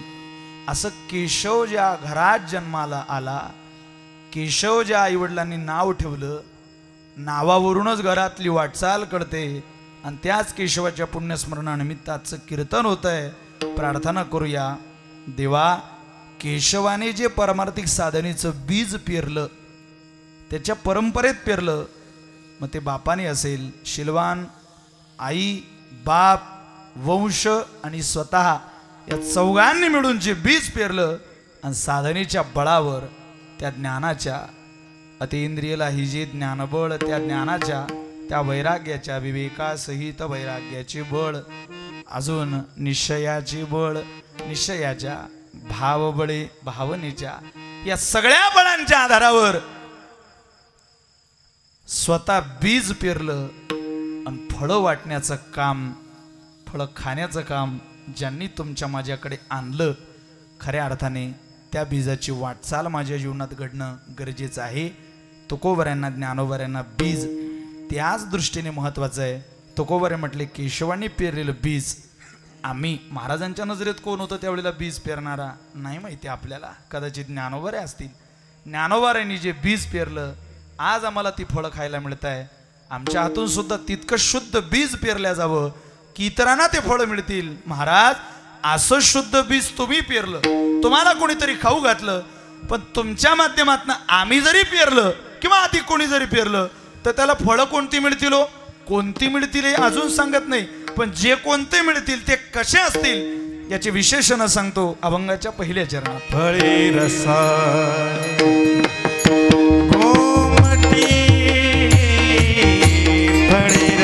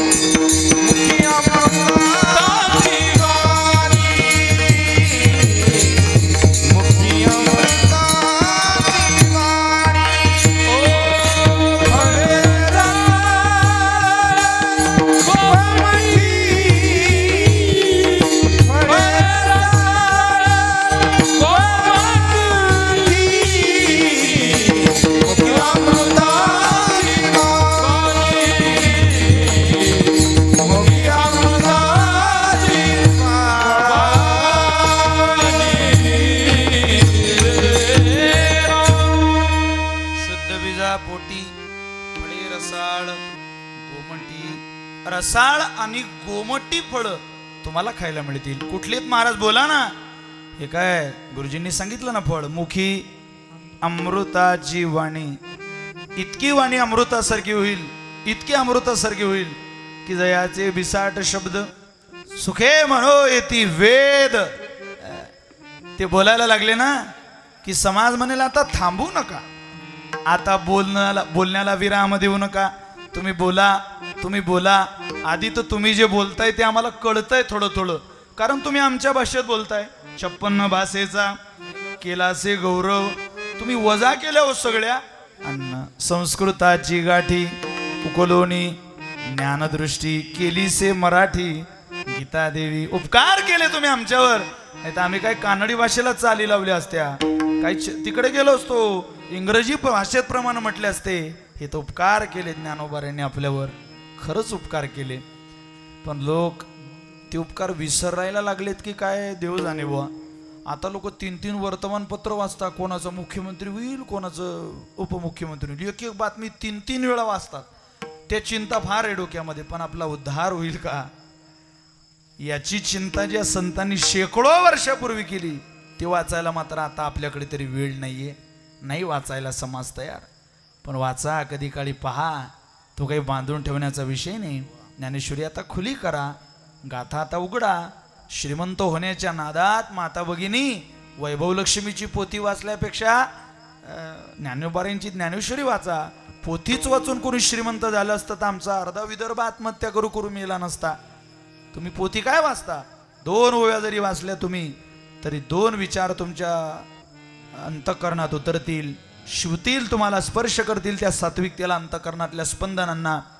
चेल चालना मिळेल चेतना मिळेल काहीतरी ऊर्जा मिळेल भविष्याकरता. तीच उपयोगाला येते. पण तुम्ही ते वाचलं पाहिजे ना. आज मात्र आपण ते वाचत नाही नाही वाचत. एक पश्चिम महाराष्ट्रामध्ये महात्मे झाले. काय लोकांचं प्रेम आहे संत साहित्यावर. दादा महाराज म्हणे ज्ञानेश्वरी उठल्या उठल्या वाचायला लागायचे. आणि पहाटे जवळजवळ साडेपाचशे ते सहाशे लोक त्यांची ज्ञानेश्वरी ऐकायला यायचे. सकाळी सहा वाजता. पण त्यांची एकच चुकी समाजाच्या निदर्शनास आली. ते आंघोळ न करता ज्ञानेश्वरी सांगायची. स्नान करायचे नाही ज्ञानेश्वरी सांगायची. लोक म्हणायचे का हो? ग्रंथाचं पावित्री सांगता आणि बिना आंघोळीची ज्ञानेश्वरी वाचता. तुम्हाला काय साधू म्हणावं आम्ही? काय करत आहे तुम्ही हे? त्यावेळेला त्यांनी दिलेलं उत्तर आहे जर ज्ञानेश्वरी वाचण्याचं प्रेम फक्त आंघोळीवरतीच अडून राहत असेल तर तुम्हाला एका शब्दात उत्तर देतो. ज्ञानेश्वरी म्हणजे माझी माय आहे आणि माईचं दूध प्यायला लेकरांना आंघोळच केलेली असली पाहिजे असा काही नियम नाही. त्याला प्रेम म्हणतात. ते माय ज्ञानेश्वरी. ते माय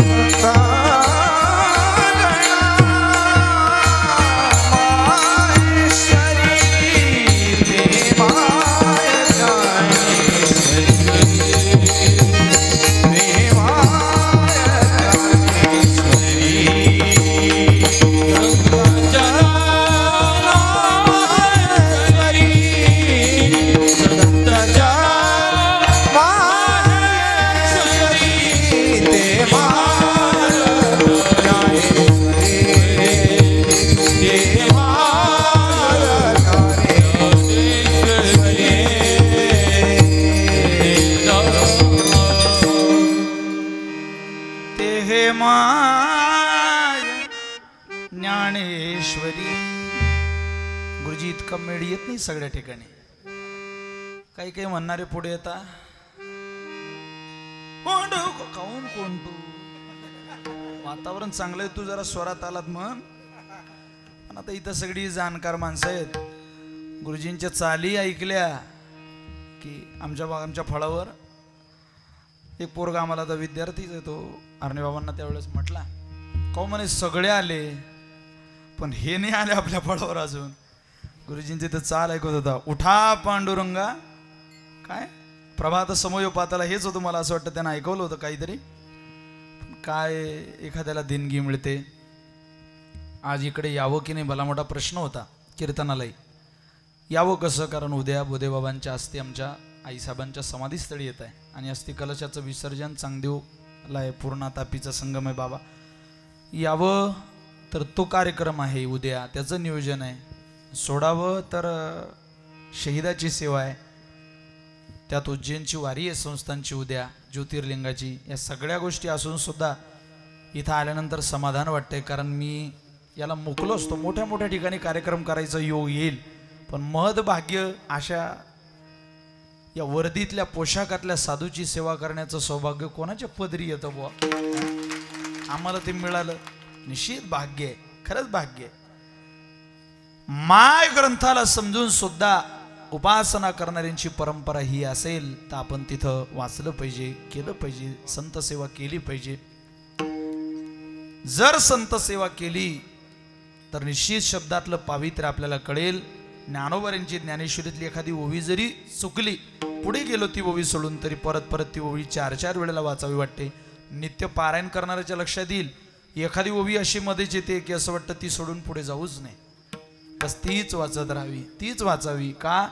काय ज्ञानोबाऱ्यांचं शब्दावरती प्रेम आहे? ज्ञानोबऱ्यांचं बोलणंच तितकं गोड आहे महाराज. मुखी अमृताची वाणी झराच आहे ज्ञानोबार आहे सहज बोलले तरी असं वाटतं बोला बोला ज्ञानोबार आहे आता थांबू नका तुम्ही. बोलत राहा बोलत राहा बोलत राहा आम्हाला ऐकू द्या. त्यांचं बोलणं कसं आहे किती तपाचं आहे किती प्रयत्न याचे सुद्धा अनेक पुरावे अनेक दाखले आपल्याकडे आहेत. पण बोलणं मात्र अमृतासारखं आहे. का आहे? शुद्ध विजा पोटी मुखी अमृताची वाणी. अमृतासारखी वाणी मिळाली. देह. देवाचे कारणी. या दोन्ही गोष्टी एका ठिकाणी येत नाही. काही लोकांना तर वाणीच मिळत नाही. वाणी पण अमृतासारखी नाही. काही लोकांना म्हटलं अहो चांगलं बोला तुम्ही. बोलू बोलू. कधी बोलायला? का आयुष्य गेलं का? कल कल कल कल क्या करे?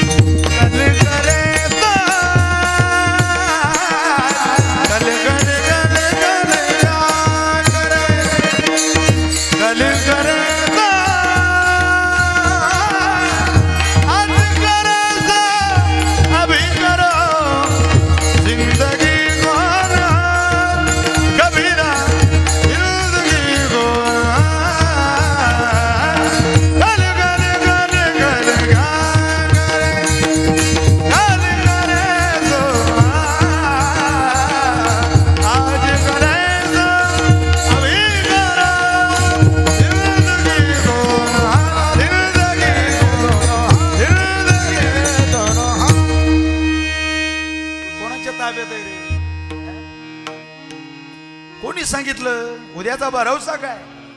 अजिबात चांगलं बोलत नाही काही लोक. ते मुलं चांगलं बोलत नाही हो छोटे छोटे. ते मुलं का चांगले बोलत नाही?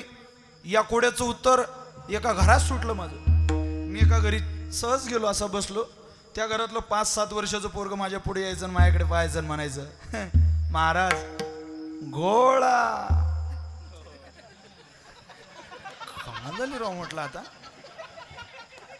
काही अर्थार्थी संबंध नाही मी आपला धोतरा आता ना म्हणतो घोळा बरं एकदा झालं मी ऐकून न ऐकल्यासारखं केलं बा जाऊ द्या पण घरात प्रतिष्ठित माणसं पुढे बसलेले हो. तो माझ्याच पुढे आला. आता मीच नवीन त्या घरात. तर म्हटलं महाराज गोळा आता आपली सहनशीलतेचा बांध फुटला बा. किती वेळ ऐकायचं म्हटलं? मी सरळ हातपाय धुवायच्या निमित्ताने किचनमध्ये गेलो. आणि त्या पोराचा हात धरून गेलो म्हटलं चल. त्या बाईला म्हटलं बाई तुमचा मुलगा आहे? हो. समजावं? म्हटलं त्याला. अहो मला घोडा घोडाच म्हणतो असं पुढे येतो आणि दोन हात करतो आणि माझ्याकडे काय माझ्यात घोड्यातलं काही नाही मी आपला साधा वारकरी माणूस. तो माझ्याकडे बघतोय ना घोडा घोडा घोडा असंच करतोय. त्या बाई म्हणे महाराज याने तुम्हाला गोळा म्हटलं. म्हटलं हो, सोडा म्हणे त्याचा हात. दोन त्याच्या कानाखाली ठेवल्या. मूर्खा घोडा म्हणतो इतका मोठा असून सुद्धा तुला गाढवातून घोडात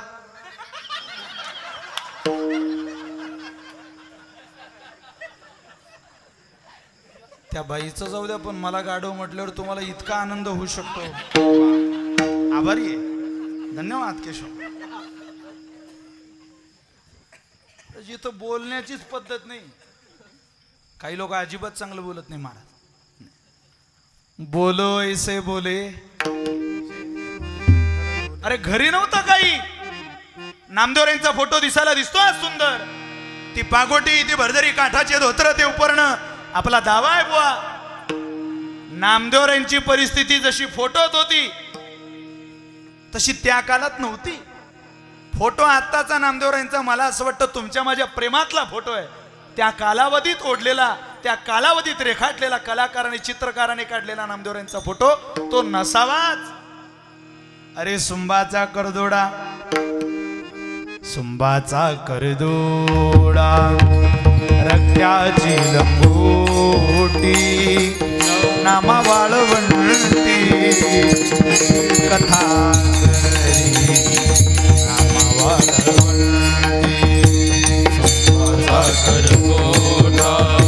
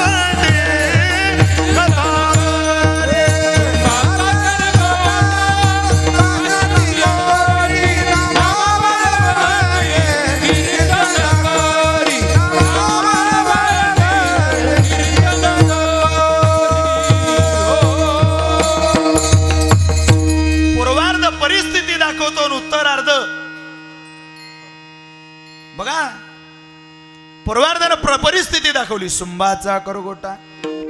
रक्त्याची लंगोटी काय बरं होत? पण शब्दात इतकं वजन होत की जगाचा मालक देह भाव विसरून कीर्तनात नाचत होता. याला म्हणतात मुखी अमृताची वाणी. काय पाहिजे? शुद्ध विधाचा झालेला परिपाक होता. अभूतपूर्व फळ होत. नामा म्हणे जगी आलाप लाभ झाला. आणि हरी सापडला विटेवरी. हा बोलण्यातला प्रभाव बोलण्यातली ऊर्जा होती ती पावित्र्य होत. बोलण्यातलं सोडा. पुढे देह देवाचे कारणी देहच भगवंताच्या चरणी नामदोरांनी समर्पित केला. बस याच्या पलीकडे नाही. आता देह आहे पण देवाच्याच कारणी असेल असं काही नाही. तो देवाच्या कारणी यावा एक तर देशाच्या कारणी यावा. एक तर माणसाने घरात आईची सेवा करत करत आपला प्राण सोडावा नाही तर म्हणतात भारत मातीची सेवा करत करत तरी प्राण सोडावा. दोन्ही वेळेला आलेलं मृत्यू आलेलं मरण हे उद्धाराच्याच दिशेनं नेणार आहे. पण आपला देह देवाच्या कारणी लागला पाहिजे. ददीची नावाचे ऋषी आहे ज्यांनी रुत्रासुराला मारण्याकरता स्वतःच्या अस्त्यांचं दान केलं. तिथलीची परंपरा आहे तिथलीची ऊर्जा आहे तेवीस वर्षाचा भगतसिंग तेवीस वर्ष पाच महिने आणि सव्वीस दिवसाचा मुलगा लाहोरच्या जेलमध्ये राहून आई वडिलांच्या समोर फासावरती लटकतो तरी मरणाचं थोडंही दुःख ज्याच्या चेहऱ्यावरती नव्हतं त्या त्यागाच्या संकल्पनेतून उभारी घेतलेला आपला देश आहे. देहच उद्धाराच्या दिशेने न्यायचा असेल तर एक तर तो देवाच्या कारणी यावा नाहीतर देशाच्या कारणी यावा. आणि यावा जर असं वाटत असेल तर त्याला कारण आहे शुद्ध बीजा पोटी सुरुवात त्याची आज करावी लागेल. कधी काळी हा प्रसाद आपल्या जीवनामध्ये मिळाल्याशिवाय राहणार नाही. मुखी अमृताची वाणी देह देवाचे कारणी विठोबार कुमार.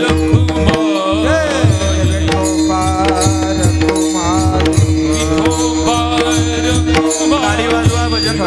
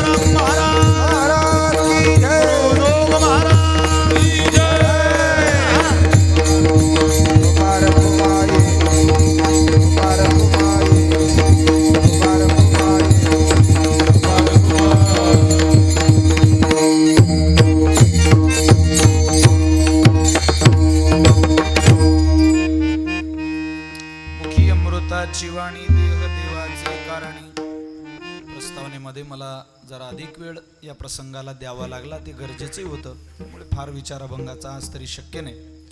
पण एरवी आपण नेहमीच कीर्तन ऐकत असतो या परिसरामध्ये माझ्याकरता हा परिसर काही नवीन नाही. मुखात अमृताची वाणी आणि देह देवाच्या कारणी हे मिळालेलं फळ फक्त आणि फक्त शुद्ध बीजाच्या आधारावर आहे. एवढंच मिळेल का हो महाराज? नाही नाही. सर्वांग निर्मळ. निर्मळता जे जीवन कसं आहे हे दर्शवतं ती निर्मळताच प्राप्त करून घ्यायची असेल तर आपल्याला बीज शुद्ध पेरावं लागेल. उपमा दिली गंगाजळाची. अनेक वर्ष बंद बाटलीमध्ये गंगाजळ ठेवा. विकारसुद्धा त्याच्यामध्ये उत्पन्न होत नाही. किडासुद्धा त्याच्यामध्ये उत्पन्न होत नाही. चिरकाल या आयुष्यामध्ये या कर्मामध्ये या साधनेमध्ये या परमार्थामध्ये या व्रतामध्ये कुठलाही विकार किडा उत्पन्न होऊ नये असं वाटत असेल तर बीज ही शुद्ध पेरावं लागेल. ते शुद्ध बीजाच्या आधारावरच याचं पावित्र्य टिकून ठेवता येईल मला असं वाटतं. पापाला पाप म्हणण्याचं धाडस आपल्या संप्रदायाने केलं यात नवल नाही पण पुण्याला सुद्धा पाप म्हणण्याचं धाडस जगाच्या पाठीवर कोण्या संप्रदायाने केलं असेल तर त्याचं नाव आहे वारकरी संप्रदाय. दुसऱ्याची माय दिसायला गोरी दिसते म्हणून तिच्या कासेला लागायचं नसतं तिला फक्त पाहायची असते आणि माय म्हणून सोडून द्यायची असते पण जिनं जन्म दिला ती काळी जरी असली तरी तिच्या कासेतलं दूध पिऊन शरीरात ताकद निर्माण करायची असते अशी मोठ्याची परंपरा आपली आहे. आणि निश्चित त्या परंपरेचे पायीक होत असताना आपल्या आईने आपल्या वडिलांनी जी पवित्रता जोपासली आपणही ती जोपासली पाहिजे. माणसाचं बोलण्यापासून वागणं जगणं सुद्धा फार पवित्र असलं पाहिजे महाराज. फार पवित्र. आपल्या घरातलं वातावरण इतकं पवित्र असावं की घरात पाय टाकल्या टाकल्या या घरात लक्ष्मी नांदते हे कळावं. काही काही लोकांच्या घरात तुम्ही संध्याकाळी जा दिवाबत्ती नाही पूजा नाही ध्यान नाही धारणा नाही. असं वाटतं आपण नक्की घरातच आलोय की स्मशानभूमीत आलोय? आहे सुद्धा नाही. काही लोकांच्या घरात तुम्ही कुठल्याही वेळेला जा. त्यांच्या साधनेनं त्यांच्या तपानं त्या घरामुळे त्या घरामध्ये एक वेगळं चैतन्य असतं वेगळं वातावरण असतं. आपलं जीवन पुणित आणि पवित्र करण्याचं माध्यम आपल्याच जवळ आहे. पण आपण इतर ठिकाणी बोट दाखवून ते सुरदाजी एका भजनामध्ये म्हणतात ना दृष्टी में तेरी खोट है, उंगलियाँ निहालता, समता कांजन ताखलो समता कांजन ताकलो बस हो गया भजन। आदत बुरी सुधार लो बस हो गया भजन. मन की तरंग मार लो मन की तरंग मार लो बस हो गया भजन.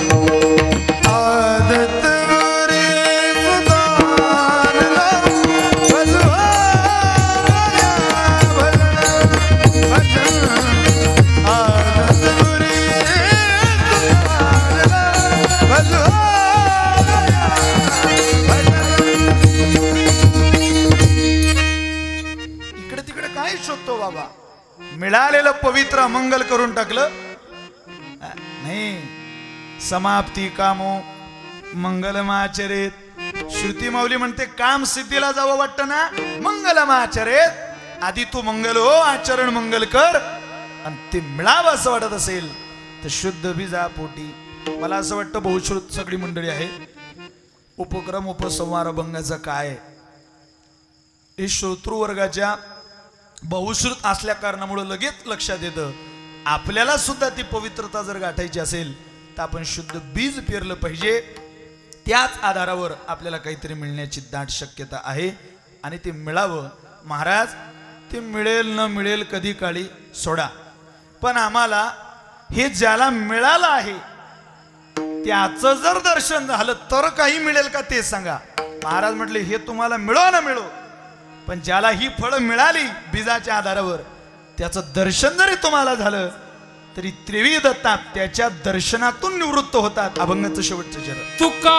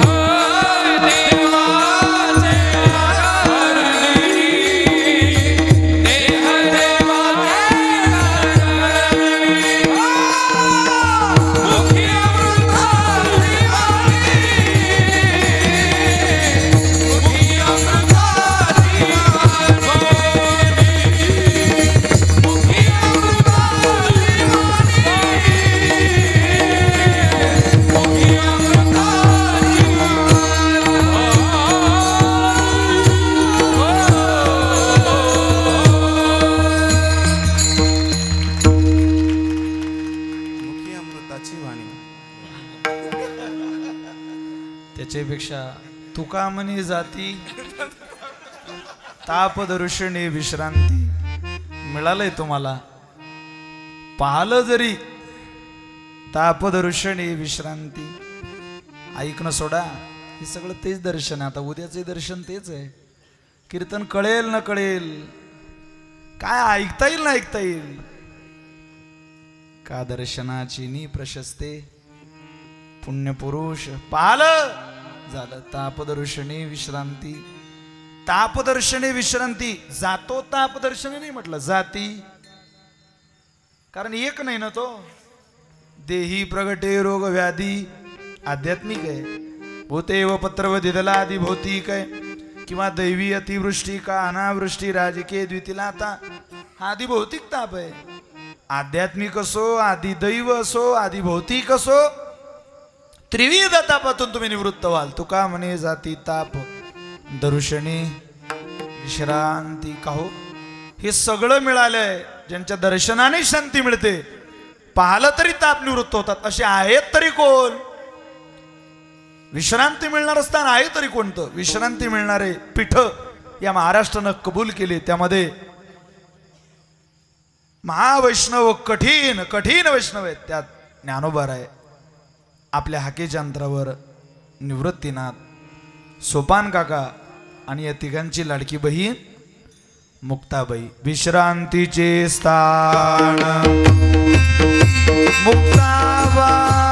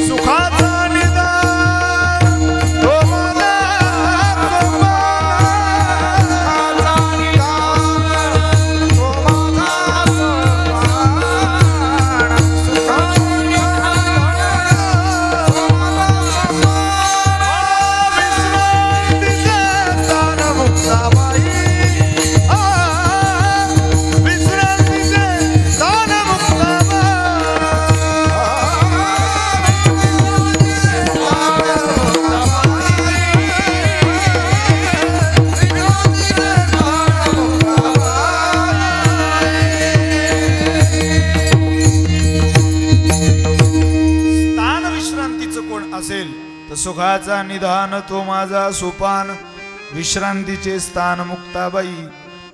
ते विश्रांती ज्या मु- संत देतात त्या संतांकडे जाऊया. त्याच विश्रांतीत आपण शुद्ध बीज पेरूया. आपल्या माध्यमातनं सगळ्यांना ही फळं वाटूया. हाच जीवनाचा क्रम आहे आणि तो क्रम साधण्याचा प्रयत्न या वैकुंठवासी केशवबाबांच्या उदार जाण्यातनं आणि विचारातनं आपण घेऊया. झालेली सेवा आईसाहेबांच्या चरणी स्वानंद सुखनिवासी गुरुनाम गुरु जोग महाराजांच्या चरणी समर्पित करतो. वाणीला पूर्ण विराम देतो. अगदी मोठ्यांचं जाणंसुद्धा मोठं असतं. अनेक वारकरी संप्रदायामधले मोठे मोठे महात्मे त्याच्यात एक महाराष्ट्रातला महत्त्वाचा आशीर्वादाचा हात या महिन्यामध्ये बोधेबाबा थांबले. थांबताना सुद्धा ज्यांच्या मुखातून रामकृष्ण हरिध्वनीच भगवंतापर्यंत पोचत होता ज्ञानोबर यांच्या चरणावर सेवा जात होती. देवाच्या कारणी त्यांनी आपला देह समर्पित केला. त्या समर्पणातून आपण समर्पण करूया आपण कुठलं करूया? एवढंच समर्पण करूया ना? आपलं गाणं आपलं बोलणं एखाद्या वेळेला समाजाला आवडणार नाही. समाजाचं काय घेऊन बसला? ज्यांनी शिकवलं त्यांना आवडलं खूप झालं. समाजाचं काय? असंच समर्पण करूया की माझ्या बोधे बाबांना कधीच माझ्या चालीमुळे खाली पाहावं लागणार नाही. माझ्या बोधे बाबांना माझ्या मारुती बाबांना माझ्या बोलण्यामुळे कधीच खाली पाहावं लागणार नाही. त्यांची मान कधीच झुकणार नाही. असा संकल्प असं समर्पण मी माझ्या जीवनात ठेवेल. आणि उदात्त ज्ञानोबाराई तुकोबर यांची विचारधारा जोग महाराजांना जशी अपेक्षित होती तशी हृदया हृदयापर्यंत पोहोचवण्याचं काम मी करेल. आम्हाला सुद्धा लोक काही ठिकाणी म्हणतात महाराज तुमचं वय सत्तावीस अठ्ठावीस कसं होऊ देता? असं होऊ देता म्हणजे नेमकं करायचं काय बोल त्या कीर्तनकाराने? हा भला मोठा प्रश्न आहे. पण मला असं वाटतं कीर्तनाला येतानाच काहीतरी चांगलं ऐकण्याकरता येत जा. चांगलं कानावरती पडण्याकरता येत जा. आणि त्याच अपेक्षेने आपण जर गेलो तर निश्चित सांगणाऱ्याचाही उद्धार होईल आणि ऐकणाऱ्याचा तो होईलच होईल यात काही शंका नाही. मोठ्यांनी जीवन समर्पित केलं आपण सुद्धा. ह्या छोट्या छोट्या गोष्टी तिकडे समर्पित करून मूळ समर्पणाच्या धारेत त्या झोतात आपला देह आपलं जीवन आणूया. एवढाच प्रयत्न करू. या ठिकाणी काव्य असेल यशोदा मैया आहे. खऱ्या अर्थानं ती माईच आहे आपली जिनं. आपल्याला जगवण्याकरता एक लेख एक पती दान केला. ती जिजाऊसारखी दानशूर नारी आहे. त्या वीर पत्नीला सुद्धा वारकरी संप्रदायाच्या वतीने मुक्ताबाई फडाच्या वतीने आम्ही सगळे साष्टांग दंडवत करतो प्रणिपात करतो. त्यांच्या आईवडिलांना खूप भगवंताने शक्ती द्यावी. मी आता मगाशी पाहिलं ते वडीलच होते ना हार घातला ते. त्यांना एक हात नाही वीटभट्टीवरती काम करून ज्यांनी मुलगा तिकडे पाठवला खरंच आहे हो हे फक्त आणि फक्त तोच करू शकतो. महाराज हिदभर मासाचा टोकळा जरी घरी आला लेखाचा तरी स्वीकारावा लागतो. असं म्हणतात इंचभर छाती कमी असली तर भरतीमध्ये पोराला सामील होता येत नाही. तो यशस्वी होत नाही सीमेवरती त्याला घेता येत नाही. इंचभर छाती कमी असली तर परत पाठवलं जातं. पण इंचभर छातीचं पोरग नाकारण्याचं ठिकाण जिथे आहे तिथंच जर पोरग शहीद झालं तर हिदभर मासाचा तुकडा जरी घरी आला तरी मा मोठ्या प्रेमानं मायबापाला स्वीकारावं लागतं. हा त्याग फक्त आणि फक्त शहीद झालेल्या पोरांचे आईवडील ज्यांनी सीमेवर पाठवलेले मुलं आहेत ते मायबापच करू शकतात. त्यांच्या त्यागाला सुद्धा आपला सगळ्यांचा नमस्कार आहे. मोठ्या प्रेमाने एकदा थांबूया. बाबा गुरुजी जगदाळे महाराज किरण महाराज गोडसे महाराज या सगळ्यांबद्दल प्रेमभावना कृतज्ञता समर्पित करतो. तरुणांना चोरी जारी मास मदिरा सट्टा पत्ता सोळा माणूस म्हणून जीवन जगा ज्ञानेश्वरी गाथ्याचं चिंतन करा. अवश्य जीवनात आपल्या नसेल काकळा जमत निदान हरिपाठ तरी घ्या. संध्याकाळ तरी आपली सुखाची करा. दुसऱ्या संध्याकाळची आवर्जून साधनेची वाट आपल्याला लागेल. वाट तुम्ही पाहाल एवढं प्रेम. आपल्या साधने जोगा. गुरुजींची मोठी संकल्पना आपल्या परिसरामध्ये. मी मागे शिंदेवाडीला आलो त्यावेळेला त्यांच्या संस्थेचा काहीतरी कानावरती विषय आला होता. गुरुजींचा मानस आहे आपल्या माध्यमातून आपल्याला जे दिलंय ते दुसऱ्याला देता यावं. हे दहन अवश्य जितकी ताकद आहे तितका लुटण्याचा प्रयत्न करा. ही मोठी मोठी वादक आहेत. आता दिनेश भाऊंनी एक मला व्हिडिओ दाखवला तर आउट ऑफ कंट्रीमध्ये असलेली मुलगी मुलगा तबला शिकते. ती व्हिडिओज पाठवतेस फोटो पाठवते किती मोठी उदात्त विचारधारा आहे आपली. पण हे सगळं मिळालेलं दुसऱ्याला देत राहा. आणि घेण्याची वृत्ती आपण जागी ठेवा एवढीच विनंती आपल्या चरणावरती करतो. आणि याच ठिकाणी विराम देतो. मोठ्या प्रेमानं निवृत्तीनाथाचं भजन करू माऊलीचं भजन करू आणि थांबू. निवृत्तीराया निवृत्तीराया सोपान मुक्ताबाई ज्ञान सखया. निवृत्तीराया निवृत्ती राया एक ताडी एक एक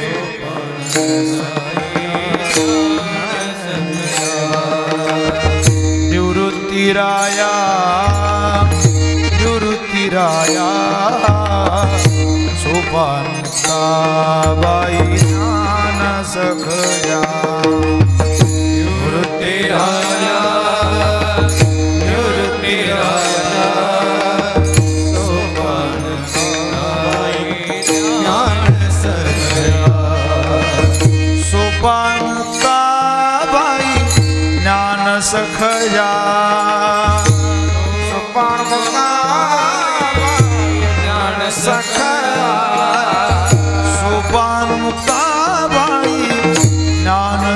सोपान मुक्ताबाई ज्ञान सखया